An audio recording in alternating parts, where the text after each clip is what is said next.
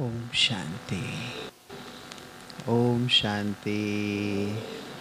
ओम शांति।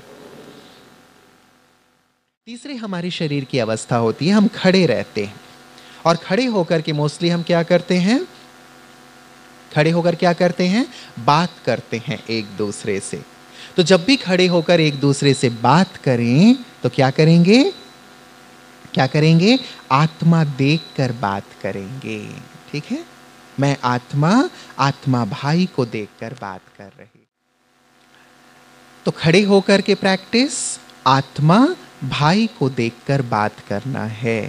बाबा ने इस प्रैक्टिस को बहुत धुन लगा दी थी ब्रह्मा बाबा ने। यदि आप ब्रह्मा बाबा की जीवनी पढ़ें तो बाबा ने धुन लगा दी, मैं भी आत्मा, यशोदा भी आत्मा, नारायण भी आत्मा, राधिका भी आत्मा, ये सब आत्माएँ?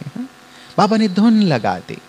और बाबा ने ये कहा है बाबा की इस महावाक्य से आप समझ सकते हो इस आत्मिक दृष्टि का कितना महत्व है।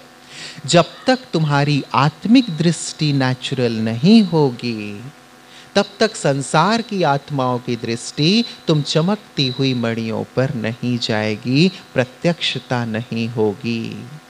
इसीलिए हम ये धुन लगा दें, जब भी खड़े हों, एक दूसरे से बात करें, आत्मा देख कर बात करें। अब देह पर ध्यान ना जाए, किसने क्या पहना है, क्या ओढ़ा है, उस पर ध्यान नहीं। नेचुरल मेरी नज़र चमकती हुई आत्मा पर।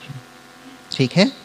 मकान की छत पे भी खड़े हो जाएँ तो भी आते जाते हुए लोगों को आत्मा रूप में देखेंगे। और जब खड़े होकर एक दूसरे से बात करें तो भी भ्रिकुटी तख्त पर मेरी नज़र जाए।